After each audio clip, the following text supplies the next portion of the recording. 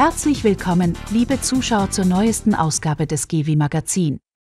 Das Stadtfest in diesem Jahr ist nun auch bereits vorbei und die Gewi, die Gebäudewirtschaft Eisenhüttenstadt hatte sich ja etwas ganz Besonderes einfallen lassen.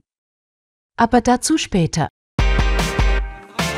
Dass sich der Hütte Beach grundlegend verändert hat, das haben wir bereits in der letzten Ausgabe gezeigt. Nun stand nach der großen Sanierung das erste Sportevent an, das Volleyballturnier der beiden kommunalen Unternehmen Stadtwerke und der Eisenhüttenstädter Gebäudewirtschaft. Zum Turnier haben sich zahlreiche Mannschaften gemeldet und diese konnten bei schönstem Sonnenschein um den Sieg kämpfen. Auch unsere Kati hat sich wieder um eine schöne moderne Mietwohnung gekümmert und stellt diese dann hier in unserer Sendung vor. Natürlich lassen wir Sie zum Thema Lunik nicht unwissend, denn neben der tollen Veranstaltung zum Stadtfest gab es auch wieder das Lunik-Gespräch und die erste Kaffeerunde in besondere Umgebung. Die Idee der GW, das alte Lunik-Café zum Stadtfest zu öffnen, war ein großer Erfolg. Bereits am Stadtfest Samstag standen die Besucher eine Stunde vor Eröffnungsschlange. Im Vorfeld wurde richtig Hand angelegt. Sogar die Bretter an den Fenstern wurden entfernt und defekte Scheiben ausgetauscht. Die Mitarbeiter der GW schlüpften für drei Stunden in neue Jobs wie Serviererin, Einlasser und Kassierer. Zuvor wurden die Torten und Kuchen gebacken und reichlich Kaffee gekocht. Man hatte ja auch keine funktionierende Küche zur Hand und so wurde reichlich improvisiert und das aber sehr professionell. Die Besucher, die hier vor vielleicht vor 40 Jahren den letzten Besuch im Lunik Café hatten, waren begeistert. Immer wieder hörte man den Wunsch, das zu wiederholen. Das Interesse am Lunik ist sehr hoch, das sah man auch beim zweiten Lunik-Gespräch einige Tage später. Eingeladen hatte Oliver Funke, der Geschäftsführer der GW, zwei Urgesteine des ehemaligen Hotel Lunik, den damaligen Hoteldirektor Dieter Rufenach und den Barchef Krinke, genannt Hugo. Sie sprachen über die alte Zeit und die Neugier der Besucher war groß, immer wieder wurde nachgefragt.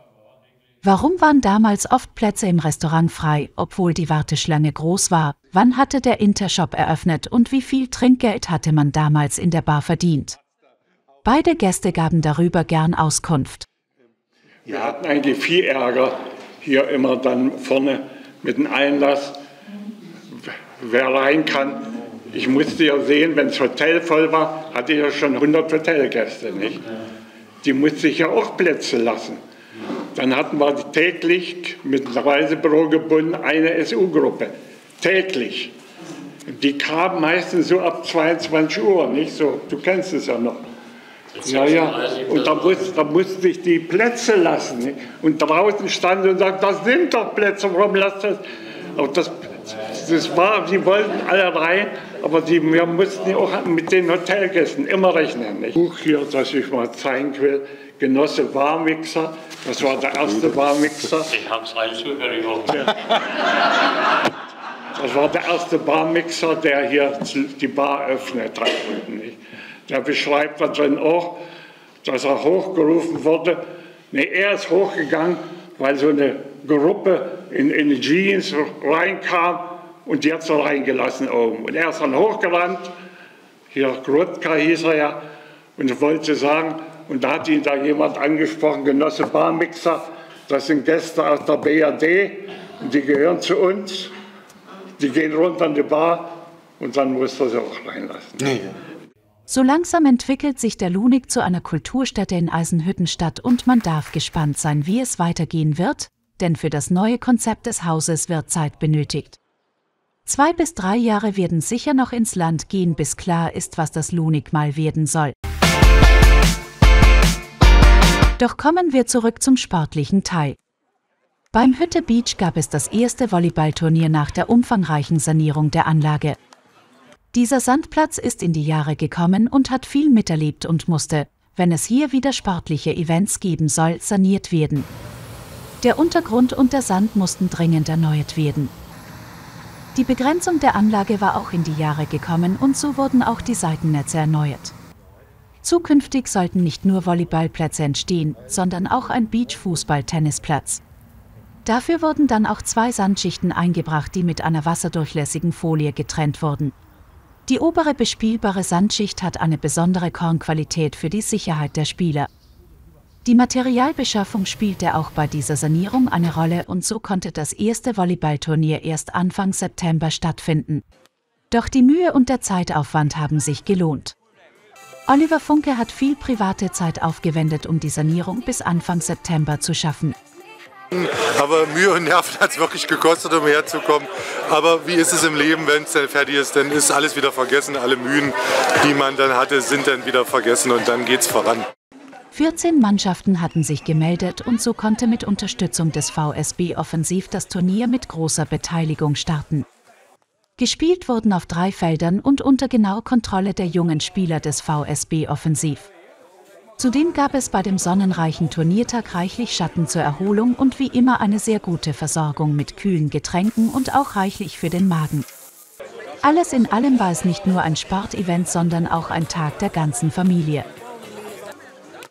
Gewonnen hat die Mannschaft der Inselgaststätte. Auf Platz 2 der TAZV und Platz 3 ging an das Krankenhaus. Die Mannschaft der GW gemeinsam mit der OID haben auch mitgespielt. Leider war die Platzierung nicht ganz nach dem Wunsch der Gastgeber.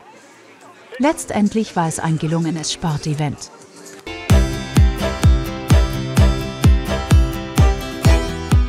Sie wundern sich sicherlich, warum wir heute auf einem Spielplatz gelandet sind. Aber das hat natürlich einen Hintergrund und zwar zeige ich Ihnen heute eine familiengerechte Vierraumwohnung, die sich direkt dort drüben befindet. Kommen Sie einfach mit.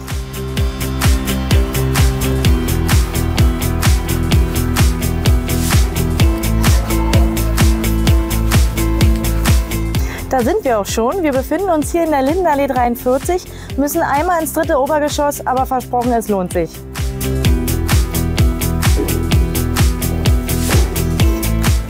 Und schon sind wir da in der Vierraumwohnung. Die ist aufgeteilt auf 87 Quadratmeter und hat gleich mehrere Highlights. Und zwar ist das Badezimmer mit einer Badewanne und einer Dusche ausgestattet. Und hier befinden sich auch zwei Balkone. Aber schauen Sie selbst.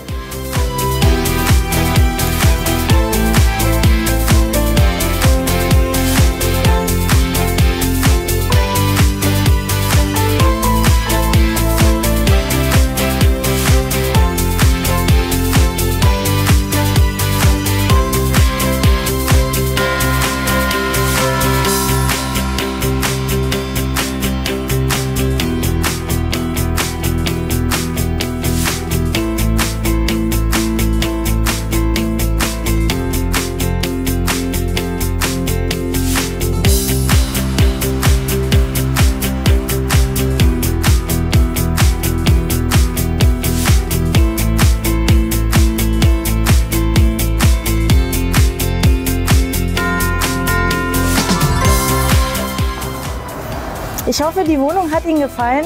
Falls Interesse besteht, melden Sie sich gerne bei uns. Wir freuen uns schon darauf.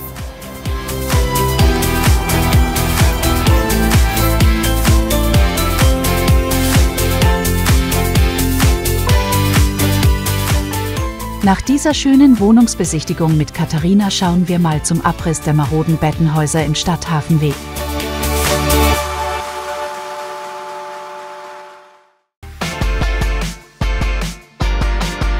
Wir zeigen nochmal, wie es bei den Bettenhäusern im 6. WK aussieht. Das Bettenhaus am Kanal ist ja seit einiger Zeit schon abgerissen. Der Abriss des Hauses an der Cottbusser Straße war nicht ganz so einfach wie gedacht. Hier ein Überflug im Juli und dann im August. Nach und nach verschwand der Schandfleck und wurde auch entsorgt.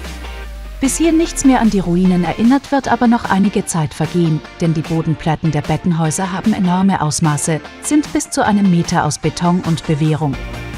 Aber die Ansicht im Stadthafenweg hat sich schon deutlich verbessert. Das war die September-Ausgabe des Gewi Magazins. Wir wünschen Ihnen noch schöne Spätsommertage bis zur nächsten Sendung. Ihre Gewi. Tschüss!